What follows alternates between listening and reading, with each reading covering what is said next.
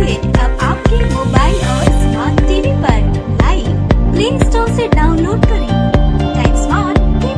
Juni Indore थाना प्रभारी की रिपोर्ट पॉजिटिव आई है। उनके परिवार के सदस्य भी कुछ बीमार है। उनको भी अरविंदो अस्पताल में एडमिट किया गया है। सभी की हालत ठीक और वह सभी ठीक है। हर क्षेत्र में पूरे शहर में लॉकडाउन है। अति आवश्यक कार्य से जो व्यक्ति बाहर आ रहे उन्हें ही अनुमति दी गई है। जो लोग खाने की व्यवस्था नहीं कर पा रहे हैं उनकी प्रशासन द्वारा व्यवस्था की जा रही है। रिपोर्ट पॉजिटिव आई है, आपको मालूम चल गया होगा।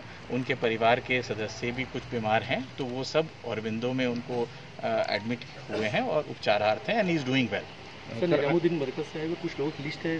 देखिए इस, पॉइंट- पे मैं बता चुका हूँ है ना? ये मैं आंकड़ा डिस्क्लोज नहीं करना चाहूँगा पर जो प्रक्रिया निर्धारित है उसके तहत कार्रवाई की जा रही है। सर इंदौर ज़िले में किसी और अन्य ज़िले के व्यक्ति के प्रवेश को लेकर या देखिए प्रवेश इस समय पे आप देख रहे हैं हर जगह हर जिला लॉकडाउन में है सिर्फ़ अति आवश्यक कार्य से जो व्यक्ति जा रहे हैं उन्हीं को सिर्फ़ परमिट किया गया है।